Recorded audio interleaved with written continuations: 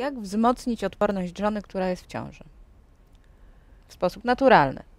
No jeżeli chodzi o ciążę, to tutaj mamy ten problem, że większość tych preparatów, które e, właściwie no chyba znakomita większość, które są dostępne gdzieś tam w aptekach na poprawę odporności bezreceptowych, nie ma żadnych zaleceń, wskazań, jeżeli chodzi o, o kobiety w ciąży, bo po prostu nie były prowadzone badania na tej grupie ze względów chociażby etycznych, prawda?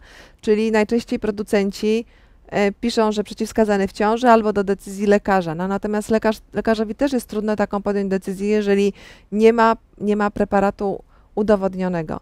W ciąży ja bym po prostu zalecała jak największą ostrożność i po prostu powstrzymywanie się od jakichś tam prób y, wspomagania odporności jakimiś preparatami z apteki dostępnymi bez recepty.